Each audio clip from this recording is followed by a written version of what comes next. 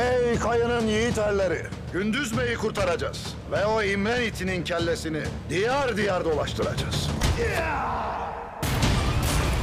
Toprağımıza tasallut ettiniz. Türk'ün toprağını sahipsiz mi sanırsınız ha?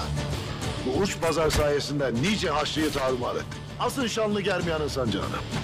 Ben bu aşkın cefasını çekmeye razıyım ama. Ağabeyin o. Beyliğimizin ikbali için sevdasından vazgeçti. Şimdi sen de.